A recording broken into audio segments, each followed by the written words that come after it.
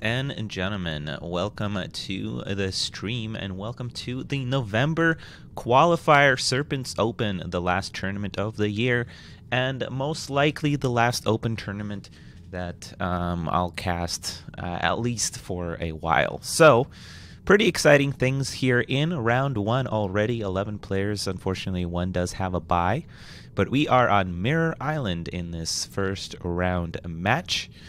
Uh, I am Nite of Misfortune, joined by Spiff, who will introduce the players.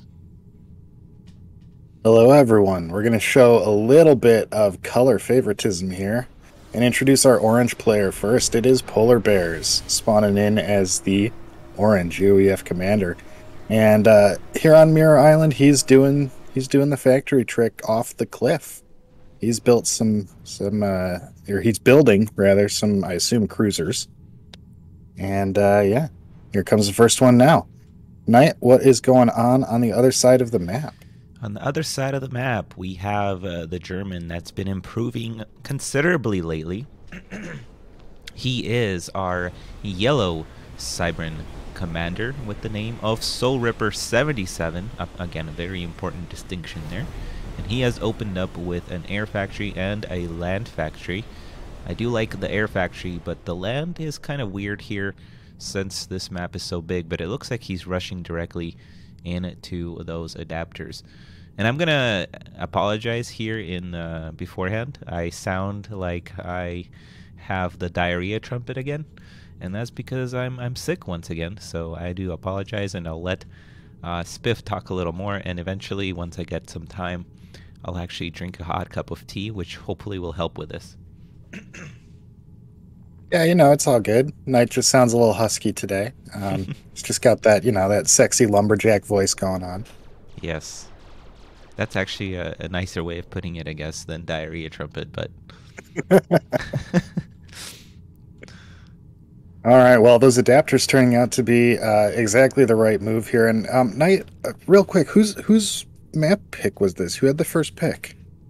This was Polar's pick and uh, Soul Ripper, I would actually ask Soul Ripper because I was surprised he let this one through. Although we did see Soul Ripper actually beat, I think, a UEF last time uh, in the Open tournament. I think it was Magenra, and he did a really nice job here. so I guess it's not super surprising, but this generally is a better map for UEF because of this start. But normally with this, you would see the UEF transition into a little bit more air. Um, but anyway, yeah, uh, Soul Ripper banned Emerald Crater, which he says he really doesn't like, and I actually think that map is probably a little better for UEF than this one is. So I guess it's not terribly surprising. Well, uh, again, the adapter is doing some good work here. Uh, Soul Ripper hasn't lost anything yet, although one of those mass extractors has taken a little bit of damage. Yep. And I don't think that cruiser is going to be able to reach that mass point over there. No, not quite. Um, and uh, you know, the problem with this uh, with this tech choice from Cybran is it is a little bit limiting. You got to dump those early research points into the adapters to stay safe, and then it gets a little bit harder to transition. And oh, it looks like that cruiser can just barely reach that mass extractor there. Oh wow! I guess Polar Bear knows. I was gonna say like if he doesn't know the ranges, that's very surprising. But uh, yeah, I mean that's that's a really nice pickoff then. Yeah. Well, one thing that's uh, really nice about StarCraft is you do have the opportunity to take a look at uh, the vision through the player's eyes. And I don't know if Polar Bear plays with the uh, the weapon range rings turned on or not. Oh, I, I'm pretty sure that everybody who's you know above average or even average in this game uses those. I started using them a, a really long time ago, and it's it's super useful. Absolutely. and I, there's a hotkey for them too, so it's easy to turn them on and off. Oh, there you, is. That's I didn't know thing. that. That's that's actually yeah, very I, nice. I don't remember what it is. It's like Control W or something like that. Yeah, I have to look it up. Well, so Soul Ripper is still just running off of these two factories, although the air factory is turned off. So really just this one factory. Yeah, it's um I think he's going to his plan will be to slowly creep with land over there on the left-hand side here, which I think is a good plan especially since polar bear is kind of expanding up to the left as well. Yeah, well, I mean, it, it's about even on mass points right now, I think. I don't know. It feels like Polar is ahead on mass because he had to travel less. He's got this cluster of four here, so he didn't have to run around between mass extractors. But I might be might be talking out of my ass. I don't know. Um, Polar hasn't really given us a hint as to his transition either. He's still just uh, pumping out cruisers from this one factory. Um, and, you know, the cruisers are keeping him really safe right now um, between that and these two air towers in his base. He is going to be making that transition over to air like you uh, insinuated, Nite. He's just taking his uh, sweet time about it, getting that eco up first. A research station going down for Soul Ripper now as well. Yeah, that's what I kind of expected from him a little earlier, and honestly from Polar Bear also. Um, even with that naval factory, I feel like he should have an abundance of a mass right now. So, um, yeah, I really don't know. Maybe he'll just use it to spam out air really quickly. But honestly, that's not, I don't think that's the best thing right now, no matter what the situation is. Yes, Soul Ripper doesn't oh, have that much air, but I mean, there's adapters out in the field, so. Polar has spent a lot of money on these cruisers, though. I mean, I, I feel like it's more typical, or at least when I get rushed like this, it's usually just like two or three cruisers instead of what are we at now? Six? Oh yeah, absolutely. I think um, anybody who plays UEF like Jwix or um, Zadaika would not have built this many cruisers. Because I mean, on this map at least, you don't need more than a few to do what you need them to do, which is just deny expansions and keep your opponent contained. Yeah. Yeah, and, and after a while, like additional ones just become useless. I mean, he might be building them because he's hoping to break through the adapter somehow, but that's honestly not a great uh, thing to hope for because adapters are just outscale. I, th- I feel like.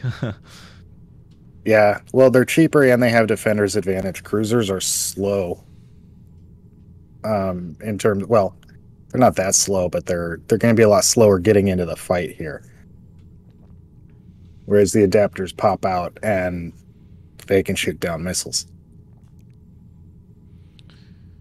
You know, we are getting quite a bit of lag. I wonder if one of these players, or maybe it's me, um, who hasn't applied the fix.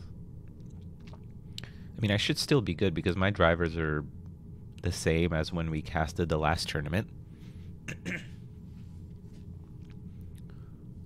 so I'm not mm, really sure. Well, I don't know uh, what other people's experience has been with the uh, the the lag, but for me, like uh, it's this seems more like network lag. Oh, it does. Okay. But but I mean, again, that's just my experience. I I know other people had you know different symptoms i guess with the lag but like for me it was completely unplayable. Well we'll see uh, in in the next rounds with different players and hopefully it, it it's better. Um, well reminder to any players out there who might be uh, tuning into the stream make sure that you have that fix applied.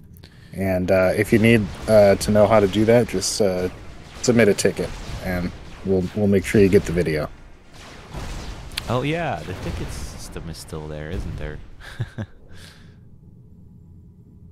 I forgot about that. That was pretty good system. Got the job done. Yeah. Well, the pings are, are pretty good, and the sim is is decent. So I don't know. We'll we'll we'll figure it out. We'll figure it out if it's a persistent issue. I'm a little surprised that uh, Polar put down that point defense. It was only three bots coming at him. Yeah, Soul Ripper is uh, pointing it out too. Yeah, I mean now it, it feels more like a like maybe a PC lag almost. So maybe Polar is is lagging. I know he crashed in the lobby before we started. So um, now it's a little better though. Somebody probably closed something. Yeah. Um. Well, yeah, I, I did stop my porn torrents. You know, I, I I realized they were still going. Were you watching uh, sexy Cybranosaurus Rex videos? Dude, Cybranosaurus Rex 9, the dirtiest one. oh my god. Were you just rewatching that Alpha X versus Osmos final in uh, the last invitational? Is that what you get off to these days? I've been outed. I'm still surprised that Polar Bear continues to pump out these cruisers. What, what does he think he's going to get done with them? They, I Yeah, mean, I altogether, altogether, they've killed one mass extractor and forced a bunch of adapters. Yeah, now it's only one of them. well, I mean, now it feels like they're they're starting to get through. Uh, I think that's why so, uh, Soul Ripper kind of has to build a second um, land factory here. I don't know. Maybe maybe this is gonna work out, but I don't know if it's too terribly efficient.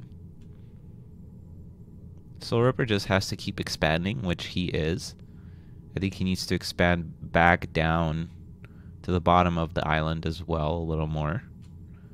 Um, but yeah, I think he should be fine, even if he loses a couple of his core mass extractors. I mean, obviously, it'd be better not to, but he could he could take it. Yeah, and we we are still at that point where we only have two air factors here for Polar, and uh, he's putting research stations down. But now we're at almost 11 minutes, and no matter how many research stations he puts out, it's gonna take a little while. He really hasn't killed that much yet, and uh, now Soul Ripper has those Cobras coming out, which is gonna be very very useful.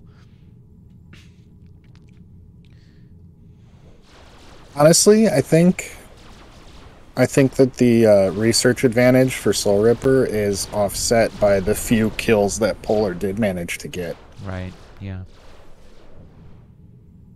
Yeah, and we have Like uh, it's it's not much per kill, but it does add up. yeah. Soul A few Ripper's planes gonna- early, some bots. Yeah. Go ahead. Sorry. Soul Ripper is also going to intercept this expansion uh, as well, so that's nice. He does lose his air at the top right, but um, you know it's gonna it's gonna take some time for Polar to get out some bombers, and it looks like Soul Ripper is already building a lot of um, adapters uh, from his uh, side expansions as well. So I think he should be fine until ACs come out. Well, that's always when it falls apart for a Cybran. Soul Ripper does finally lose that factory, and unfortunately, that was the uh, the vetted land factory. Um, but that's the only building that's gone down to this this cruiser uh, contain. Yeah, well, eventually I think this is gonna break through the adapters. Like, there's. I think we played a very similar game uh, in one of our tournaments that me and Javix played, um, where eventually there's just too many cruisers no matter how many adapters you have. Um, unless you're Well- just building out of like three or four land factories, but I was going to say, I think that's part of the issue here. The the expanded uh, the expansion factories on the wings are nice, but one or two of those should have been back home to help with the adapter spam. Yeah, and I think um, Soul Ripper is probably doing the right thing here. He's pausing his land factory to get more land factories out as quickly as possible. Really like to see another land factory over there on the left as well, and I think that's what you got to do here, because this is kind of a. You might not see it right away, but it's it's a little bit more of a turtley play from um, Polar Bear, and you just have to start doing damage here within the next few minutes um, as quickly as possible, and that's what those forward factories will allow him to do. And the first AC1K is already on the way, though. Did you see that? I don't know if you pointed this out already, but we have recyclers against the cruisers. Oh, I did not. Yeah, that's Hmm. actually a brilliant kind of counter, I think. Well, Assuming they don't die. I mean, this is a rough spot for them, though, because what are recyclers good against? Okay, they're, they're going to get you out of this cruiser spot, maybe. But what else are they good against? Megas. You're not playing against Cybrans, so. eh. Well, right now the the significant issue is the cruisers, and the adapters are help will help against the air. So if you deal with the cruisers, like I think he's he's brilliant. I just don't know if these recyclers are gonna do enough damage to the cruisers quickly enough. and it looks Well, like even yeah, if- Polar even is if they do, targeting the, the the recyclers. Sorry. Yeah, even if they do uh, decent damage to the cruisers, though, it's just where do you go from there? You've dumped all this research into into that. Yeah, I don't know. I, I like I kind of like it, but I feel like he's struggling for resources. If he could like get out, I don't know, like six of them right now, very rapidly. Yeah, I think it would be very very good. But right now he's not recycling. Are those even like out of range? I, I, I don't really know their range um, too well. No, Yeah. they're they're working out. Oh, they are. I just I haven't Yep. seen a cruiser go down yet. There's a cruiser at about half health, and then ooh, yeah. Part of the problem is I think the range is. So like, if you draw a line right through the middle of the group of cruisers, I think that's about where the range is. okay. So cruisers are like moving out of range, and then the recyclers have to be retargeted. There goes one. Yeah, finally one cruiser does fall down. There's a couple of other Another ones one's that are about to go kind of down. really low health. I think a Soul Ripper should just focus down one with uh, Yeah. both recyclers. I don't know why he's split focusing, but yeah, it seems to be doing the trick, honestly, right now. Maybe one more recycler, and that would be the optimal amount. We do have that first AC coming on the- the left, or sorry, right-hand side here. And this is a big problem. Yeah, there are adapters here, but honestly, this many adapters aren't gonna do enough to the AC, I don't think. But they can zone. They can zone, but AC is outrange adapters if properly microed. So once those shields start going down, adapters do best when they're clustered up. So the the area of effect splash damage is just brutal. This is a rough situation for Soul Ripper, and I don't really see how he's going to deal with the AC1K. Yeah, this AC is gonna. Yeah, there's not enough adapters here on the left-hand side. Soul Ripper has to split. Yeah, this is gonna be uh, very rough, and I I think um, he's gonna lose his left expansion here for sure.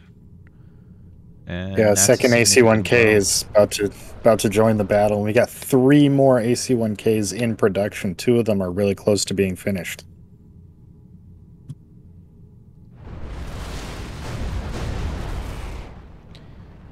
I mean, he could structure Dedo, but that's not going to do enough damage. Um, I think at this point we got to rebuild another land factory here in the main base. We do have air coming out, which I was going to say, like, I think um, a good counter to this would be just try and spam out as much air as you can and just try to take fights over the adapters at this point um, while still pushing on land. I think that's that's that's how you counter this, but Soul Ripper just didn't manage to set that up quite. Um, and yeah, there's now a total of five air gantries for Polar Bear. I think this is going to be Polar's game. Yeah, it's been Polar's game for a little while, I think. Well, I still disagree with uh, with the general build he took. and the amount of cruisers that he built. Because I mean, what did these cruisers really accomplish? I mean, they they caused the the adapters spam, yes, but now the adapter spam is pretty good against the anti or the air that he has. Wow, uh, one uh, gunship does actually go down. Nice focus fire. Uh, needs to split the adapters. I'm not sure why those adapters are not splitting. Really needs to split and focus fire, but Yeah. Does do a decent job here. I think maybe one more will go down. No. Yeah, that's that's pretty rough.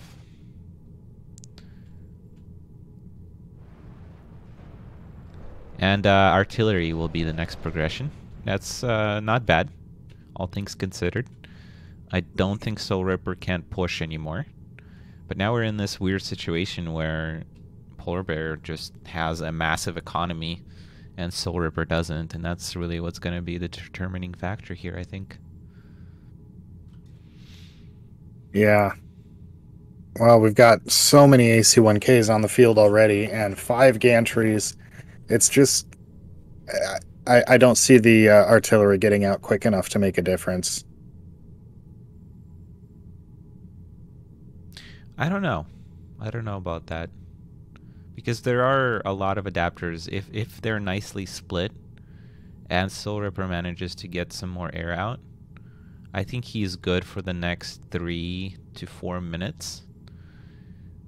But you're right. I mean, it's it's gonna be close. Um, the nice thing here is that a lot of Polar Bear's units or buildings are clumped over there on the left, so that's gonna be nice. But we need more mass from Soul Ripper. Like he can't he can't really sustain production of um, artillery and and adapters right now. Well, he can't really expand either, though. Um, he can expand to a few mass points uh, on the left and right. Well, that's true because there's air now. You're right. Oh no, he's gonna lose his air too here. Wow. Oh, and that's that's like really bad. Yeah, that's really huge. really bad I mean, because that air is the only thing that's realistically going to be able to kill the AC1Ks. Yeah, yeah. Like Yeah, the, I think the now it's GG. adapters. Yeah, the adapters shoot up, but AC1Ks outrange them, and Polar's micro is going to be on point.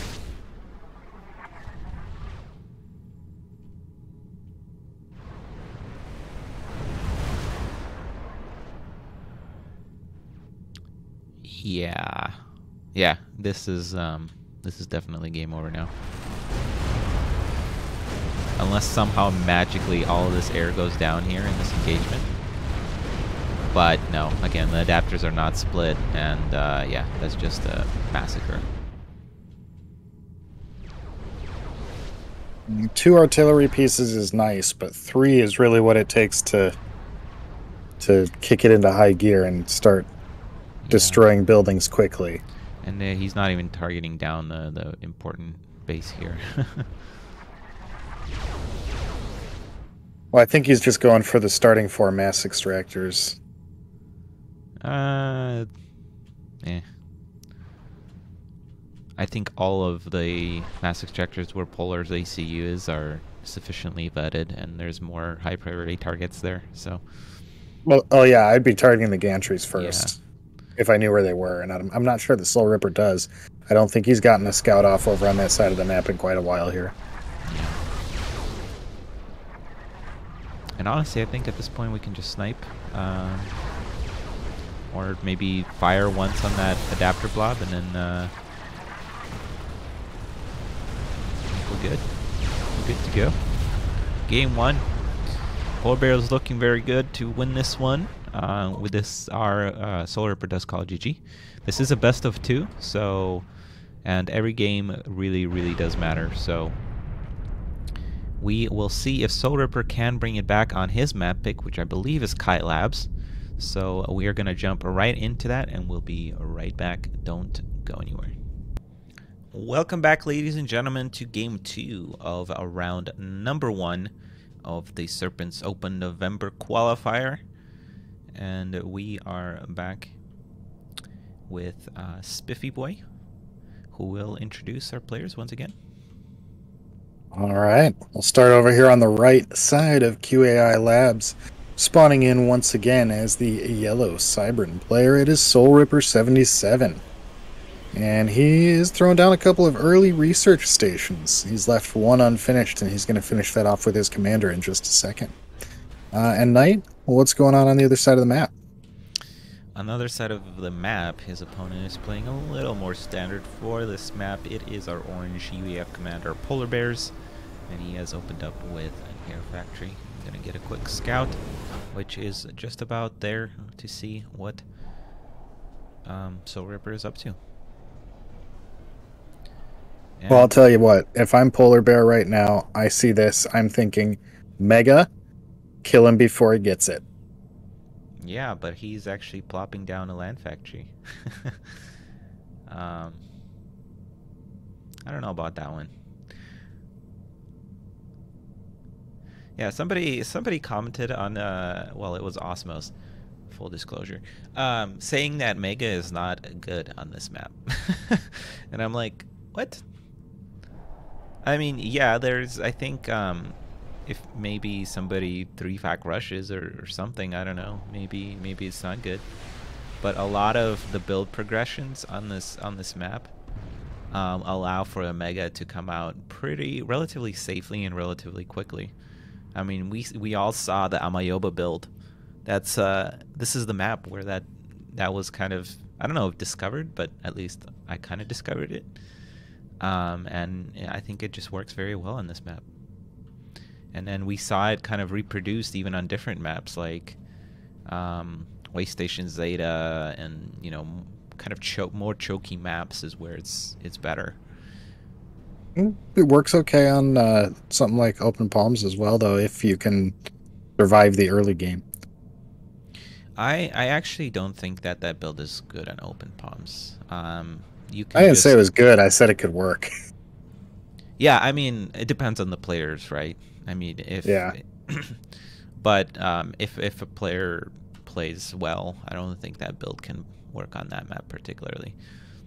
But anyway, we do have expansions for both players here going towards the center. Polar Bear is going to prioritize land over air. I think he he's not even making air anymore, uh, which is honestly kind of surprising, and I actually don't like this because Soul Ripper is already making Brackman, and you know the adapters are going to be quite nice with preventing some of that damage. So, honestly, I think the adapters were why Polar stopped making air. Um, yeah. Because the goal of the air is one to scout, two to maybe force adapters, and he's forced the adapters. Yeah, I although actually, to be honest, I don't know if it was that much so much forced or if that was Soul Ripper's um, uh, plan from the get go because they came out so fast that it just kind of made me think he was going for him anyways. Yeah, I think I would actually agree. I would just, I think if you're transitioning like this, I would place down a research station before transitioning to land. Maybe I don't know.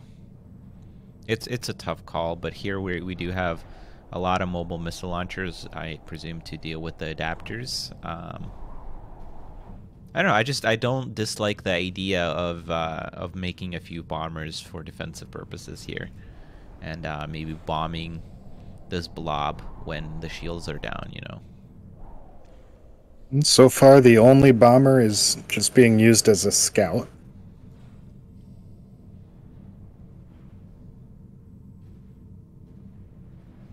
Oh, there is a research station. I missed I missed that going up. So maybe maybe he did do that. I think it went like like factory research factory.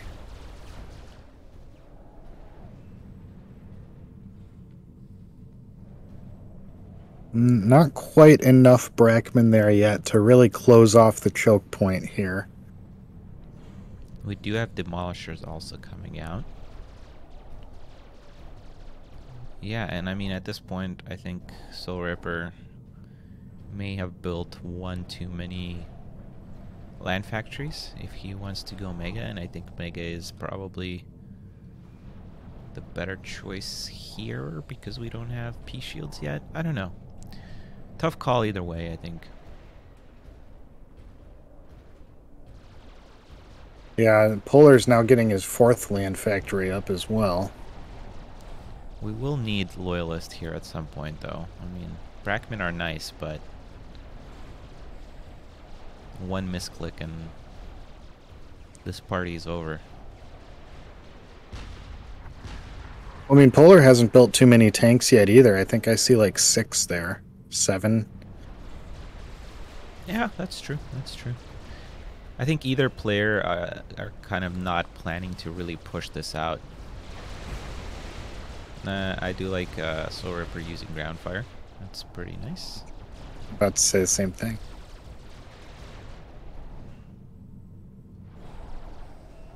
I just Yeah, don't know I- what the I plan mean- here from either player. I think they're just gonna play defensively until they can get their experimentals.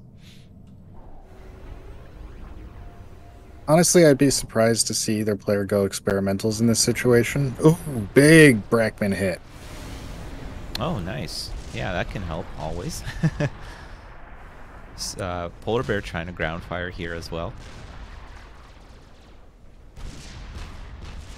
Um, but yeah, I mean, as the Cybran here, I think really the thing to do would be just spam out land, land factories and just keep up the pressure. And I like the idea here from Polar Bear, the way he's setting up his buildings here, uh, or factory specifically. I would just only leave maybe a little more room here. If he does end up going into land experimentals especially, it would be very, very nice. But if uh, Soul Ripper did go Mega, obviously the shields here would be really nicely poised to protect from that. Well, and that might be an indication that maybe Polar is not thinking about going land experimentals if Yeah. he doesn't really care about them moving around in his base. Right. I think if he does go experimentals, it will be AC1K again. Um, but you know, uh, Fat Boy is uh, honestly, I feel like really good on this map, and especially a jackhammer. but that's. Uh, I was gonna say I want to see a jackhammer. When's I the last know, time we I saw a jackhammer? uh, oh, the whoa, whoa! All right. Well, we're both wrong, Spiff. Maybe we will see one. Come on, Polar, make it a jackhammer.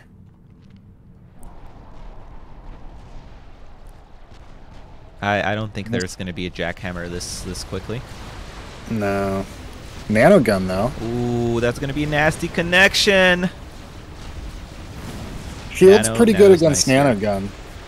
Yeah, but uh, not against this many Brackman. I really like this progression from Soul Ripper. He's, I think he's realizing that this is a defensive play from, from Polar Bear. Maybe even realizing there's a gantry coming up here.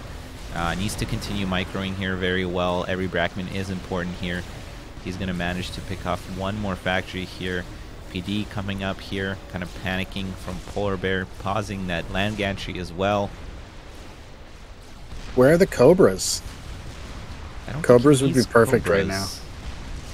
I don't think he actually needs Cobras. I think the Brackmen are actually going to be doing enough job, a, a a bang up job here against these shields. And uh, he's getting a lot of nice connections. And that factory does go down. Yeah, this is a sweet timing by Soul Ripper. I really like this play. Um, there is now a point defense, but I think Soul Ripper just needs to be really careful with his ACU at this point. Yeah, see, that's why I'm thinking cobras would be really nice here because he could stay back and stay a little safer. His ACU is Yeah. down below half health. Would help with the PDs, I agree. But I don't know. I think he's fine here. Uh, oof, oof, oof, oof, oof, oof, oof. He's taking a lot of damage though. This could be it. It might be an overextension. Oh Yeah, my yeah, yeah. god. Soul Ripper. My boy. Well, what was firing? Like the PDs were firing on his ACU? The Or? PDs, there were some tanks um, and uh, some demolishers that like just were lobbing shots at him from real short range. Oh my goodness. All right, well, that's uh, round one, ladies and gentlemen. I think uh, Soul Ripper kind of fudged this one up, but it was a, a really interesting series, honestly, watching these two players play. And I'm excited to see uh, how both of these players progress. Of course, Soul Ripper has already qualified for the season final Uh, but if bear keeps this up and wins this one, uh, you know, the, he will also qualify, and that's going to make a really interesting final. But for now, we're going to take a little break, see where the tournament is at, and uh, we'll be back very, very shortly with round number two. Don't go anywhere.